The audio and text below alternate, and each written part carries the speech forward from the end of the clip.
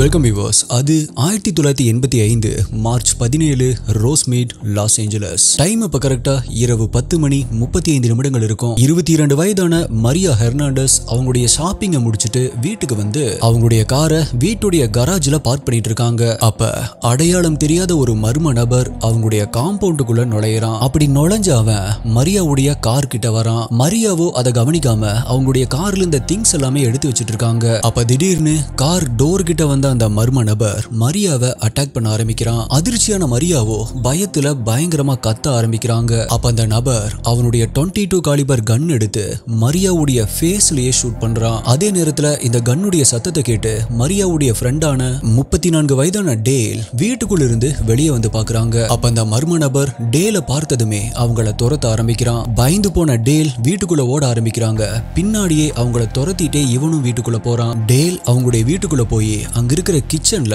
ஒரு கப்போர்ட்குள்ள ஒளிஞ்சுக்கிறாங்க. அவங்கள துரத்திட்டு போன அந்த மர்ம நபரோ வீட்டுக்குள்ள ஒவ்வொரு ரூமா தேட ஆரம்பிக்கிறான். இப்போ கொஞ்ச நேரம் கழிச்சு அங்க எந்த ஒரு சத்தமுமே கேட்கல அப்படிங்கறதால கிச்சன்ல ஒளிஞ்சிட்டு இருந்த டேல் அந்த நபர் போயிட்டானா அப்படின்னு தன்னுடைய தலைய கொஞ்சம் நிமிர்ந்து பாக்குறாங்க. பட் அவங்களுக்கு தெரியாது. அவ்வளவு நேரமும் அவ எங்கேயுமே போகல.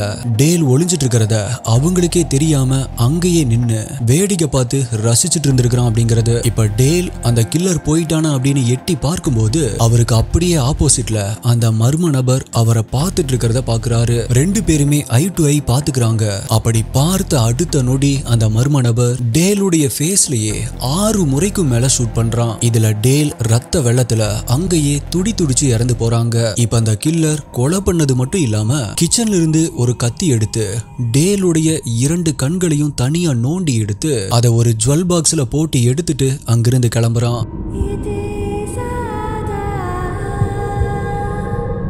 உடனடியா போலீஸ்க்கு இது இன்ஃபார்ம் பண்ணப்பட்டு போலீஸ் கிரைம் சீனுக்கு வராங்க. ஆரம்பத்துல போலீஸ் இது பணத்துக்காக நடந்த ஒரு நார்மலான கொலை அப்படின்னு தான் நினைக்கிறாங்க. பட் இதுக்கப்புறம் அடுத்தடுத்து நடக்க போற நிகழ்வுகள் தான் நம்ம நினைக்கிற மாதிரி இது நார்மலான கேஸ் கிடையாது. இது வெறும் ஆரம்பம் மட்டும்தான் அப்படிங்கிற உண்மையை உணர வச்சுது. சோ இதுக்கப்புறமா இந்த கேஸ்ல நடந்த நிகழ்வுகள் என்னென்ன? யாரு இந்த கொலையை பண்ணது? போலீஸ் அந்த கில்லரை கண்டுபிடிச்சாங்களா இல்லையா அப்படிங்கிற ஆயிரத்தி தொள்ளாயிரத்தி எண்பதுகள்ல அமெரிக்காவை அலறவிட்ட மோஸ்ட் டெரிஃபிக் போன் சில்லிங்கான ஒரு கேஸை பத்தி தான் இன்னைக்கு வீடியோல நம்ம டீ கோட் பண்ண போறோம். நீங்க பார்த்துட்டு இருக்கிறது சரவணன் டீ கோட்ஸ் நான் உங்கள் சரவணன். வாங்க இன்னைக்கு வீடியோக்குள்ள போலாம்.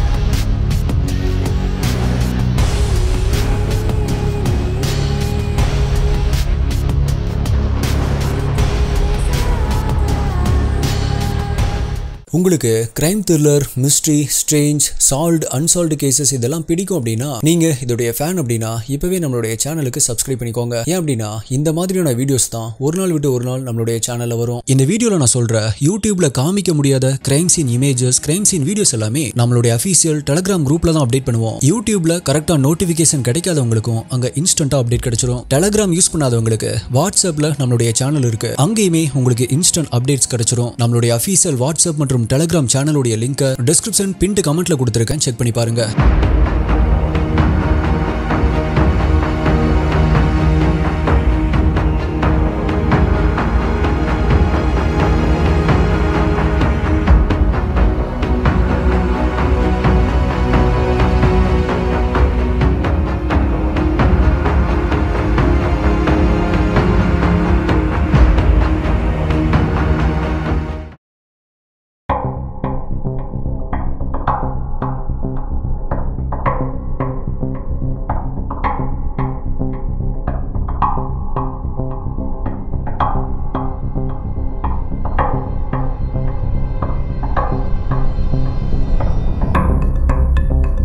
டேலுடைய கொலை நடந்த அடுத்த நாள் அதாவது மார்ச் பதினெட்டாம் தேதி டைம் இப்ப சரியா? இரவு பதினோரு மணி இருக்கும். முப்பத்தி நான்கு வயதான வெரோனிகா அப்படிங்கிற ஏசியன் லேடி அதே ரோஸ்மீட் பகுதியில் இருக்க மாண்ட்ரே பார்க் அப்படிங்கிற ஒரு இடத்துல இருக்கிற ஹைவேஸ்ல தன்னுடைய கார்ல வந்துட்டு இருக்காங்க அப்படி அவங்க வந்துட்டு இருக்கும் பொழுது சடனா ஒரு மர்ம நபர் முன்னாடி வந்து நிக்கிறான். அதை பார்த்து பயந்து போன வெரோனிகாவும் சடன் பிரேக் பண்ணி காரை நிப்பாட்டுறாங்க. வெரோனிகா காரை நிப்பாட்டுனதுமே அந்த மர்ம நபர் கண்ணை காட்டி வெரோனிகாவை கார்ல இருந்து கீழே இறங்க சொல்றான். அவனுடைய கையில கண் இருந்ததால அவங்களுமே வேற வழி இல்லாம கார்ல இருந்து கீழே இறங்குறாங்க. அப்படி வெரோனிகா அவன் சொன்னது பண்ணியுமே அடுத்த நொடி அந்த மர்ம நபர் அவன் எய்ம் பண்ணிட்டு இருந்த கண்ணால வெரோனிகாவுடைய ஃபேஸ்லயே சரம் மாதிரியா ஷூட் பண்ண ஆரம்பிக்கிறான். நம்ம எதுக்கு சாகுறோம் அப்படிங்கிற காரணம் தெரியாமலேயே வெரோனிகா அந்த இடத்திலேயே இறந்து போறாங்க. அப்படி அவங்க இறந்ததுக்கு அப்புறமா அந்த கில்லர் அவங்க கிட்ட இருந்த பணத்தை எடுத்துட்டு அங்கிருந்து கிளம்பிடுறான். இப்ப இந்த இரண்டாவது கொலை நடந்து ஒன்பது நாட்களுக்கு அப்புறமா அதாவது மார்ச் இருபத்தி ஏழு சரியா நள்ளிரவு இரண்டு மணி இருக்கும். அறுபத்தி நான்கு வயதான வின்சென்ட் சார்லஸும் அவருடைய ஒய்ஃப் நாற்பத்தி நான்கு வயதான மேக்சின் லெவினியாவும் அவங்களுடைய வீட்டுல தூங்கிட்டு இருக்காங்க. அப்ப அவங்களுடைய வீட்டுக்குள்ள ஒரு மர்ம நபர் உள்ள நுழையறான். அப்படி நுழைஞ்சவன் அவங்களுடைய பெட்ரூம்குள்ள போய் பெட்ல தூங்கிட்டு இருந்த சார்லஸுடைய முகத்திலேயே சர மாதிரியா ஷூட் பண்ண ஆரம்பிக்கிறான். இதுல ரத்தம் தெறிக்க கொடூரமான முறையில அந்த இடத்திலேயே இறந்து போறாரு சார்லஸ். இந்த கன்ஸ் சவுண்டை கேட்டு பதட்டமாகி கண்ணை முழிச்சு பார்த்த சார்லஸுடைய ஒய்ஃபான மேக்சிம் அவங்களுக்கு பக்கத்துல அவங்களுடைய ஹஸ்பண்ட் இறந்து கிடக்கிறதையும் தனக்கு முன்னாடி கன்னோட ஒருத்தன் நிக்கிறதையும் பார்த்து பயத்துல அலற ஆரம்பிச்சிருக்காங்க.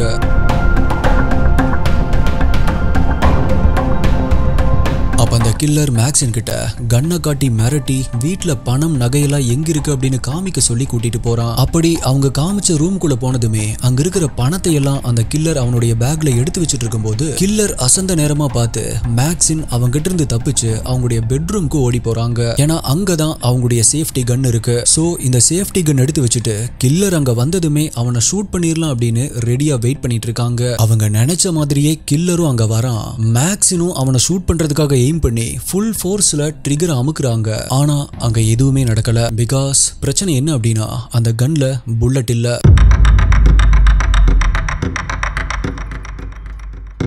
இப்ப இந்த இடத்துல நீங்க இருந்திருந்தா உங்களுடைய மனநிலைமை எப்படி இருந்திருக்கும் அப்படின்னு கொஞ்சம் யோசிச்சு பாருங்க. இந்த பதட்டத்துல மேக்ஸினுக்கு கன்னு ஏன் ஒர்க் ஆகல அப்படிங்கிற எதுவுமே புரியல. அதே நேரத்துல மேக்ஸின் தன்னை கொலை பண்ண ட்ரை பண்ணதை பார்த்து ஆத்திரமடைஞ்ச அந்த கில்லர் அவங்கள பத்து முறைக்கும் மேல ஃபேஸ்லயே ஷூட் பண்ணி கொலை பண்றான் அந்த இடத்துலயே மேக்ஸின் இறந்து போயிடுறாங்க. ஆனா அப்ப கூட அவனுடைய கோபம் குறையல. சோ கிச்சனுக்கு போய் ஒரு கத்தி எடுத்துட்டு வந்து இறந்த மேக்ஸினுடைய உடம்புல பத்து முறைக்கு மேல குத்தி அவனுடைய ஆத்திரத்தை தீத்துக்கிறான் அப்படி அவனுடைய கோபம் அடங்கினதுக்கு அப்புறமா பணத்தை எடுத்துட்டு அங்கிருந்து கிளம்புறான். இப்படி குறிப்பிட்ட சில நாட்களுக்குள்ளேயே இவ்வளவு கொடூரமான கொலைகள் நடந்திருக்கிறது. லாஸ் ஏஞ்சலஸுடைய மக்கள் மத்தியில பீதியை ஏற்படுத்த ஆரம்பிச்சது. ஒவ்வொருத்தருமே அவங்களுடைய வீட்டுல நைட்டு தூங்குறதுக்கே பயப்பட ஆரம்பிச்சாங்க. சோ இதை விசாரிக்கிறதுக்கு அப்படின்னு ஸ்பெஷல் டீம் ஒன்று ஃபார்ம் பண்ணப்படுது. அப்படி இன்வெஸ்டிகேஷனை ஸ்டார்ட் பண்ண போலீஸ் மூன்று முக்கியமான விஷயங்களை நோட் பண்றாங்க. அதுல முதல் விஷயம் மூன்று கொலைகளும் ஒரே ஏரியால தான் நடந்திருக்கு. இரண்டாவது விஷயம் எல்லா கொலைகள்லயுமே கில்லர் யூஸ் பண்ணது. Point twenty two calibre gun மூணாவதா இந்த மூணு மூன்று கொலைகள்லையும் கில்லர் விக்டிமுடைய ஃபேஸ்ல ஷூட் பண்ணி தான் கொலை பண்ணியிருக்கான். சோ இந்த மூன்று கொலைகளும் தனித்தனி கொலைகள் கிடையாது. கண்டிப்பா இது ஒரு சீரியல் கில்லருடைய வேலையா தான் இருக்கணும் அப்படின்னு நினைக்கிறாங்க.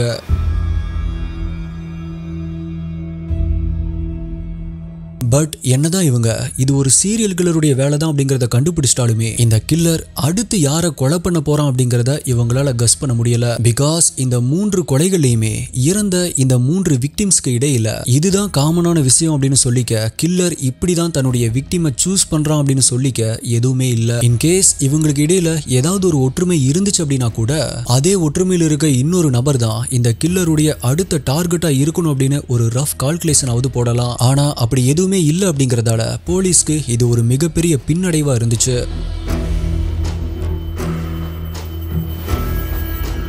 போலீஸ் இப்ப அடுத்து சாக போற விக்டிமை எப்படியாவது தடுக்கணும். அவன் அடுத்தது யாரை கொலை பண்ண போறானோ அப்படின்னு யோசிச்சுட்டு இருந்த அதே சமயத்துல இவங்க நினைச்ச மாதிரியே கில்லர் அவனுடைய அடுத்த சம்பவத்தை நடத்துறான். அது ஜூலை ஐந்து சியாரா மாட்ரே. டைம் அப்ப நள்ளிரவன் நெருங்கிட்டு இருந்துச்சு. பதினாறு வயதான விட்னி பென்னட் தன்னுடைய அப்பா அம்மா ஊருக்கு போயிருந்ததால அவங்க மட்டும்தான் வீட்டுல இருந்தாங்க. அப்ப அவங்க எதிர்பாராத நேரத்துல அந்த கில்லர் அவங்களுடைய வீட்டுக்குள்ள நுழையிறான். அப்படி நுழைஞ்ச அவன் இந்த முறை அவனுடைய கில்லிங் ஸ்டைல மாத்துறான். அதாவது பென்னட்டை அவன் கொண்டு வந்திருந்த இரும்பு ராடை வச்சு பயங்கரமா அடிக்க ஆரம்பிக்கிறான். பென்னட்டும் முடிஞ்ச வரைக்கும் கில்லரை திருப்பி அட்டாக் பண்ண ட்ரை பண்றாங்க. பட் கில்லருடைய அக்ரஸிவ்னஸ்க்கு முன்னாடி பென்னட்டால எதுவுமே பண்ண முடியல. சோ கில்லர் பென்னட்டை பயங்கரமா அடிச்சதுக்கு அப்புறமா அவங்க இறந்துட்டாங்க அப்படின்னு நினைச்சிட்டு அங்க வீட்டுல இருந்த பணம் நகை அப்படின்னு எல்லாத்தையுமே எடுத்துட்டு அங்கிருந்து கிளம்பிடுறான். கில்லர் இந்த முறை கன்னை யூஸ் பண்ணல அப்படிங்கறதால பென்னட் காப்பாத்தப்படுறாங்க. ஆனா இந்த அட்டாக்ல பென்னட்டுக்கு அவங்களுடைய ஸ்கல்லே டோட்டலா பிரேக் ஆகுற அளவுக்கு இன்ஜுரி ஆயிருந்துச்சு. எந்த அளவுக்கு கில்லர் அக்ரெசிவா பென்னட்டை அட்டாக் பண்ணிருக்கான் அப்படின்னு நான் இப்ப சொல்லும் போதே உங்களுக்கு ஒரு மாதிரி இருக்கும். பென்னட்டுடைய தலையில அவங்களுடைய காயத்தை சரி பண்ண மொத்தம் நானூத்தி எழுவத்தி எட்டு ஸ்டிச்சஸ் போடப்பட்டுச்சு. அப்போ அந்த கில்லருடைய அக்ரசிவ்னஸ் எவ்வளவு மோசமா இருந்திருக்கும் அப்படிங்கறத நினைச்சு பாருங்க. அதுக்கான காரணம் என்ன அப்படிங்கிறது பின்னாடி உங்களுக்கு தெரிய வரும்.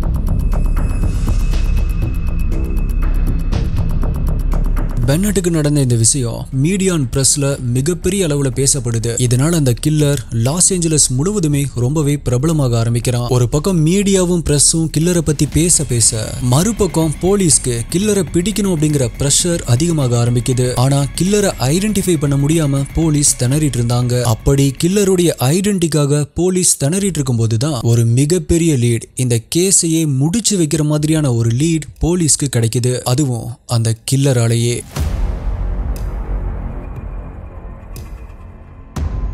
அது ஆகஸ்ட் இருபத்தி ஐந்து மிஷன் வியஹோ. நேரம் சரியா அதிகாலை மூன்று முப்பது மணி போல இருக்கும். முப்பது வயதான பில் கான்ஸும் அவருடைய ஃபியான்சே இருபத்தி ஒன்பது வயதான ஐனஸ் எரிக்சனும் அவங்களுடைய வீட்டுல தூங்கிட்டு இருக்காங்க. அப்ப இந்த கில்லர் அவங்களுடைய வீட்டுக்குள்ள நுழையிறான். அப்ப அவனுடைய சத்தம் கேட்டு தூக்கத்தில் இருந்த பில்லும் எரிக்சனும் முழிச்சுக்கிறாங்க. அப்படி அவங்க கண்ணை முழிச்சு பார்க்கும் பொழுது அவங்களுக்கு முன்னாடி நின்றுட்டு இருந்த கில்லர் தன்னை தி நைட் ஸ்டாக்கர் அப்படின்னு இன்ட்ரோடியூஸ் பண்ணிக்கிறான். கில்லர் கையில கன்னோட நின்றுட்டு இருக்கிறத பார்த்த பில்லும் எரிக்சனும் என்ன பண்றது அப்படின்னே தெரியாம பயத்துல அவனை வரைஞ்சு போய் பார்த்துட்டு இருந்தாங்க. அடுத்த செகண்ட் அந்த கில்லர் கொஞ்சம் கூட யோசிக்காம பில்லுடைய முகத்திலேயே சரமாரியா ஷூட் பண்றான். அதுல பில் அந்த இடத்திலேயே இறந்து போறாரு. இப்ப பக்கத்துல இருந்த எரிக்சனை ரேப் பண்ண ஆரம்பிக்கிறான். ஆனா இந்த முறை அவன் அவங்கள கொலை பண்ணல. அதுக்கு பதிலா அவங்க கிட்ட நீ சாத்தான கடவுளா ஏத்துக்க. அப்படி ஏத்துக்கிட்டா நான் உன்னை உயிரோட விட்டுறேன் அப்படின்னு சொல்லியிருக்கான். எரிக்சனும் தன்னுடைய உயிரை காப்பாத்திக்க அந்த கில்லர் சொன்ன மாதிரியே சரி ஓகேன்னு சொல்றாங்க. சோ கில்லரும் அவங்கள உயிரோட விட்டு விட்டுட்டு அவங்க கிட்ட இருந்த பணத்தை மட்டும் எடுத்துட்டு அங்கிருந்து கிளம்புறான். அப்படி போகும்போது அந்த கில்லர் எரிக்சனை திரும்பி பார்த்து போலீஸ் கிட்ட என்னுடைய பேர் நைட் ஸ்டாக்கர்னு சொல்லு. நான் இங்க தான் இருக்கேன். இன்னுமே பல கொலைகளை செய்ய போறேன். முடிஞ்சா என்னை பிடிக்க சொல்லு அப்படின்னு சொல்லிட்டு போறான்.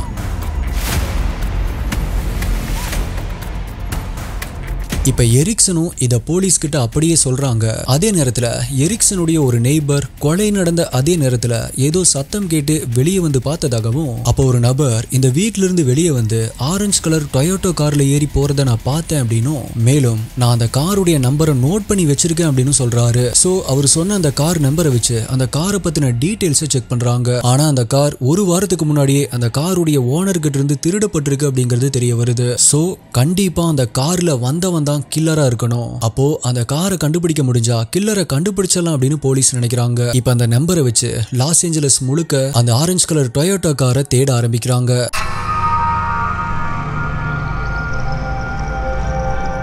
அப்படி மூன்று நாட்கள் தேடினதுக்கு அப்புறமா ஆகஸ்ட் இருபத்தி எட்டாம் தேதி லாஸ் ஏஞ்சலஸ்ல இருக்க கொரியன் டவுன் அப்படிங்கிற இடத்துல கைவிடப்பட்ட நிலைமையில அந்த காரை கண்டுபிடிக்கிறாங்க. அப்படி கண்டுபிடிச்ச அந்த காரை ஃபுல்லா அனலைஸ் பண்ணி பாக்குறாங்க அப்படி பண்ணதுல அந்த காருடைய பேக் மிரர்ல ஒரு ஃபிங்கர் பிரிண்ட் இருக்கிறத நோட் பண்றாங்க. கண்டிப்பா இது கில்லருடைய ஃபிங்கர் பிரிண்டா இருக்கலாம் அப்படின்னு நினைச்ச போலீஸ் இப்ப இந்த ஃபிங்கர் பிரிண்ட்டை லாஸ் ஏஞ்சலஸ் உடைய கிரைம் லிஸ்ட்ல இருக்கிற குற்றவாளிகளுடைய ஃபிங்கர் பிரிண்ட் கூட மேட்ச் பண்ணி பாக்குறாங்க அப்போ ஆயிரத்தி தொள்ளாயிரத்தி எண்பத்தி நாலுல இல்லீகல் ட்ரக் யூஸ் பண்ணதுக்காகவும் ஹை ஸ்பீட்ல காரை ஓட்டுனதுக்காகவும் அரெஸ்ட் பண்ணப்பட்ட ஒரு குற்றவாளியுடைய ஃபிங்கர் பிரிண்ட் கூட இது பக்காவா மேட்ச் ஆகுது. அந்த ஃபிங்கர் பிரிண்ட்டுக்கு சொந்தமான பெயர் ரிச்சர்ட் ராமிரஸ்.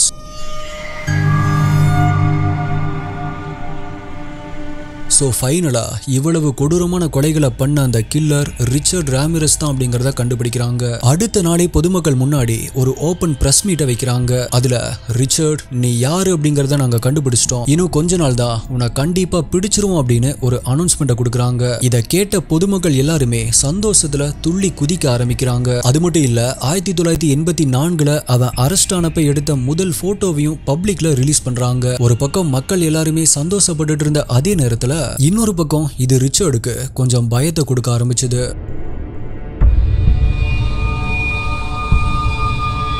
அப்படி ஒரு நாள் விடியற்காலை ஒரு ஆறு மணி இருக்கும். ரிச்சர்ட் ஈஸ்ட் லாஸ் ஏஞ்சலஸ்ல இருக்கிற ஒரு ரோட் சைடுல நடந்து வந்துட்டு இருந்திருக்கான். அப்ப போலீஸ் ரிச்சர்டை பிடிக்கிறதுக்காக டெம்பரரியா ஒரு செக் போஸ்ட போட்டு அங்க வர்ற எல்லா வெஹிக்கிள்ஸையுமே கம்ப்ளீட்டா செக் பண்ணிட்டு இருக்கிறத இவன் பாக்குறான். அதை பார்த்த ரிச்சர்ட் போலீஸுடைய கண்ணில் பற்றக்கூடாது அப்படிங்கிறதுக்காக அங்க பக்கத்துல இருந்த ஒரு குரோசரி ஸ்டோருக்குள்ள நுழையிறான். அப்படி நுழைஞ்சவன் அந்த குரோசரி ஸ்டோருக்குள்ள நியூஸ் பேப்பர் படிச்சுட்டு இருந்த ஒரு லேடி கிட்ட போய் நிக்கிறான். இப்ப அந்த லேடி நியூஸ் பேப்பரை படிச்சு முடிச்சுட்டு தன்னுடைய பக்கத்துல நின்றுட்டு இருந்த ரிச்சர்டு நிமிந்து பாக்குறாங்க அப்படி பார்த்து அவங்க பயத்துல பயங்கரமா கத்த ஆரம்பிக்கிறாங்க. அதை பார்த்ததுமே ரிச்சர்டுக்கு இவங்க ஏன் இப்படி கத்துறாங்க? அப்படிங்கிற எதுவுமே புரியல. அப்ப அந்த லேடி படிச்சுட்டு இருந்த நியூஸ் பேப்பரை பாக்குறான் அப்படி அந்த லேடி அலறிட்டு இருக்க காரணம் அவங்க இவ்வளோ நேரமா நியூஸ் பேப்பர்ல படிச்சுட்டு இருந்ததே இவனை பத்தின ஆர்டிக்கலை தான். உடனடியா அந்த குரோசரி ஷாப்ல இருந்த மத்த மக்கள் எல்லாருமே இவனை பிடிக்கிறதுக்காக வராங்க. ஆனா அவங்க கிட்ட இருந்து தப்பிச்ச ரிச்சர்ட் அந்த ஷாப்ல இருந்து வெளியே வந்து ரோட்ல ஓட ஆரம்பிக்கிறான். பட் மக்களோ விடாம அவனை துரத்தி பிடிக்கிறாங்க. பயங்கர பயங்கரமா அடிக்க ஆரம்பிக்கிறாங்க. கொஞ்ச நேரத்திலேயே போலீஸ்க்கு தகவல் தெரிவிக்கப்பட்டு போலீஸும் அங்க வராங்க. ஃபைனலா ஆயிரத்தி தொள்ளாயிரத்தி எண்பத்தி ஒன்பது ஆகஸ்ட் முப்பத்தி ஒண்ணுல ரிச்சர்ட் அரெஸ்ட் பண்ணப்படுறான். அதுக்கப்புறமா நடத்தப்பட்ட விசாரணையில தான் ரிச்சர்டை பத்தின பல ஷாக்கிங்கான விஷயங்கள் தெரிய வந்துச்சு. ரிச்சர்ட் சொன்னதை கேட்டு போலீஸே உறைஞ்சு போறாங்க. அப்படி ரிச்சர்ட் போலீஸ் கிட்ட சொன்ன விஷயங்கள் இதுதான்.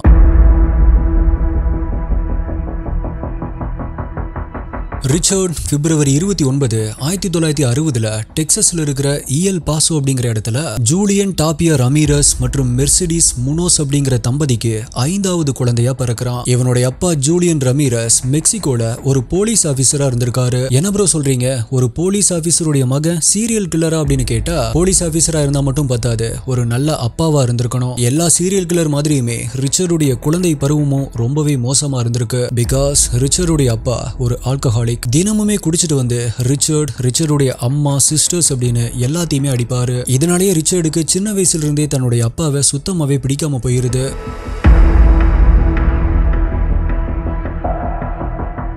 அப்பதான் ஆயிரத்தி தொள்ளாயிரத்தி எழுபத்தி இரண்டுல ரிச்சர்டுக்கு பனிரெண்டு வயது இருக்கும்போது அவனுடைய கசினான மைக் வெக்கேஷனுக்கு ரிச்சர்டுடைய வீட்டுக்கு வராரு. ரிச்சர்டுக்கும் மைக்குக்கும் கிட்டத்தட்ட முப்பது வயது டிஃபரன்ஸ் இருக்கும். ஆனா ரிச்சர்ட் பின்னாட்கள்ல இவ்வளவு கொடூரமான சீரியல் கில்லரா மாற காரணமே இவன் தான் பிகாஸ் மைக் வியட்நாம் வார்ல கலந்துகிட்ட ஒரு எக்ஸ் மிலிட்டரி மேன் இவனுடைய கேரக்டர் பத்தி பார்த்தோம் அப்படின்னா மைக் ரொம்பவே அக்ரஸிவான ஒரு சைக்கோபேத் மாதிரியான கேரக்டர் அவன் வியட்நாம் வார்ல கலந்துகிட்டப்ப அவன் கிட்ட அகதிகளா மாட்டின பல பெண் பெண்களையும் பெண் குழந்தைகளையும் ரேப் பண்ணி கொலை பண்ணதை போட்டோவை எடுத்து வச்சுக்கிட்டு அப்பப்ப அந்த போட்டோவை எடுத்து பார்த்து சந்தோஷப்பட்டுக்குவான்.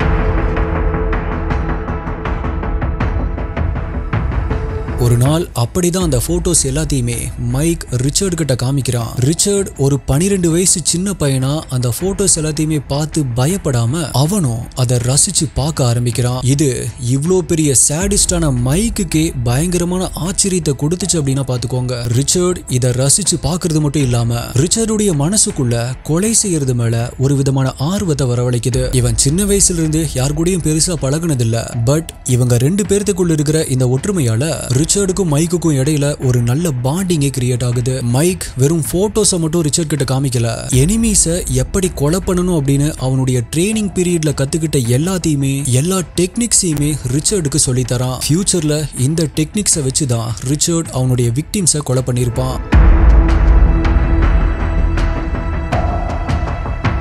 இப்படி போயிட்டு இருக்கும் பொழுதுதான் ஆயிரத்தி தொள்ளாயிரத்தி எழுவத்தி மூணுல ரிச்சர்ட் மைக்குடைய வீட்டுல தங்கறதுக்காக போறான். அப்போ ஒரு நாள் நைட் ரிச்சர்டும் மைக்கும் வீட்டுல குடிச்சிட்டு இருந்திருக்காங்க. மைக்குடைய ஒய்ஃப் ஜெஸி இவங்க குடிச்சிட்டு இருக்கிறத பார்த்து மைக் கிட்ட பயங்கரமா சண்டை போட ஆரம்பிச்சிருக்காங்க. இவங்க ரெண்டு பேரும் சண்டை போடுறது புதுசு இல்ல. ஆனா இன்னைக்கு இவங்களுடைய சண்டை எல்லை மீறி போக ஆரம்பிக்குது. ஒரு கட்டத்துல பொறுமை இழந்த மைக் அவனுடைய ஹேண்ட் கன்னால ரிச்சர்டுடைய கண்ணு முன்னாடியே ஜெஸிய பல முறை ஷூட் பண்ணி கொலை பண்றான். அப்பதான் ரிச்சர்ட் அவனுடைய வாழ்க்கையிலேயே முதல் முறையா ஒரு கொலைய நேர்ல பாக்குறான். பட் அதை பார்த்து அவன் பயந்தானா அப்படின்னு கேட்டா கண்டிப்பா இல்ல. எப்படி ஒரு பனிரெண்டு வயசு பையனா அந்த போட்டோவை பார்த்து பயப்படாம அதை ரசிச்சு பார்த்தானோ அதே மாதிரி இந்த கொலையையும் ரசிச்சு பார்க்க ஆரம்பிக்கிறான்.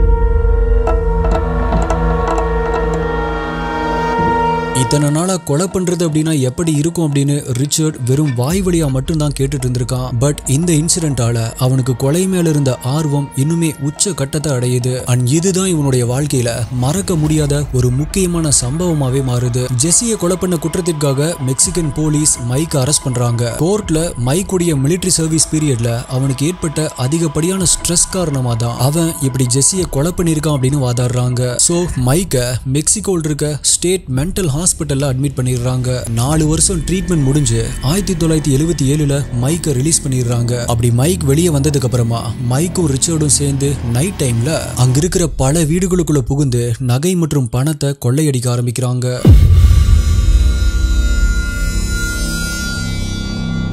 பட் இதோட அவன் நிறுத்திக்கிட்டானா அப்படின்னு கேட்டா அதுதான் இல்ல. இங்க தான் ரிச்சர்டுடைய கொடூரமான எண்ணங்கள் வெளியே வர ஆரம்பிக்குது. அவனுடைய சின்ன வயசுல மைக் அவன் கிட்ட காமிச்ச போட்டோஸ் அவன் நேர்ல பார்த்த ஜெஸ்ஸியுடைய கொலை இது எல்லாமே அவனுக்கு கொலை மேல இருந்த ஆர்வத்தை உச்ச கட்டத்துக்கு கொண்டு போச்சு அப்படின்னு சொன்னேன் இல்லையா? அது இப்பதான் அவனுக்குள்ள இருந்து வெளியே வர ஆரம்பிக்குது. கரெக்டா சொல்லணும் அப்படின்னா இங்கிருந்து தான் அவனுடைய சைக்கோத்தனமான சரித்திரமே தொடங்க ஆரம்பிச்சது. அதனுடைய வெளிப்பாடு தான் நம்ம இன்ட்ரோல பார்த்த எல்லா கொலைகளுமே.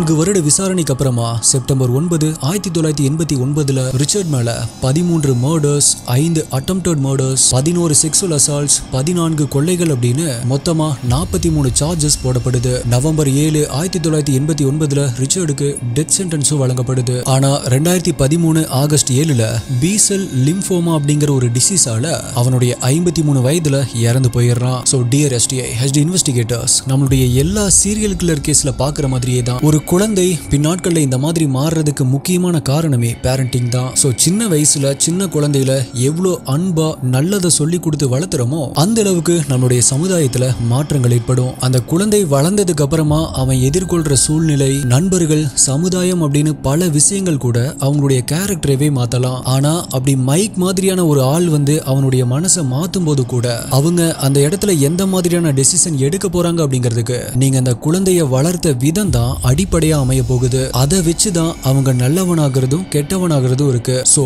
நல்லது எது கெட்டது எது? இந்த ரெண்டையுமே சொல்லி அதுல நம்ம எப்பவுமே நல்லதை தான் சூஸ் பண்ணணும் அப்படின்னு சொல்லி கொடுங்க. இந்த வீடியோவை பத்தி உங்களுடைய கருத்து என்ன அப்படிங்கறத மறக்காம கீழே கமெண்ட் பண்ணுங்க. உங்களுடைய பெஸ்டான கமெண்ட் அடுத்த வீடியோல வரும். இதே மாதிரியான வேற ஒரு வீடியோல மீட் பண்றேன். நன்றி. பாய்